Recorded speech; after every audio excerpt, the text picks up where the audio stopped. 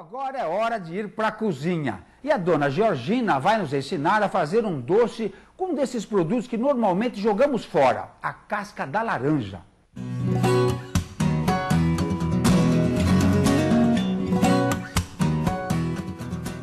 Citrucinensis. Esse é o nome científico de uma das frutas mais cultivadas do mundo, a laranja. O Brasil é hoje o maior exportador da fruta industrializada, um negócio que rende milhões de dólares para a balança do agronegócio.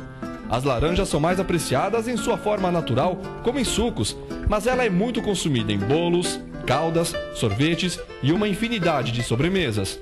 Bom, a laranja dispensa comentários, né? Todo mundo já conhece, rica fonte de vitamina C. Só que hoje, aqui no quadro Sabor do Campo, ela vai ficar de lado e nós vamos aproveitar a casca da fruta. Isso mesmo, que no final ficará assim. Olha só a diferença.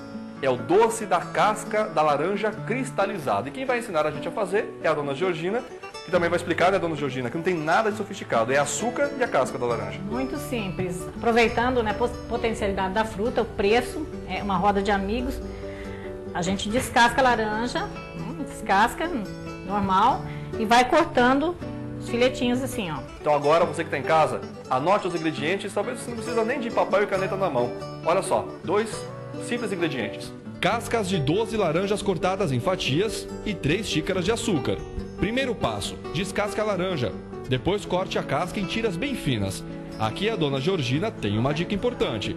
A dona Georgina e as amigas já cortaram as cascas da laranja estão aqui. Só que nós temos que dar uma dica para quem está em casa. A receita, ela não fica pronta no mesmo dia. A casca que está aqui mergulhada na água, ela deve ficar três dias, no mínimo três dias, né? Pelo menos três dias, trocando a água duas vezes ao dia, para tirar o amargo da casca. Para adiantar o trabalho, ela já tinha uma porção de cascas de molho na água.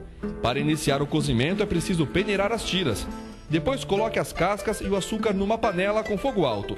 Dona Georgina explica o ponto exato da receita. Depois de mais ou menos 30, 40 minutos cozinhando, a calda vai engrossar.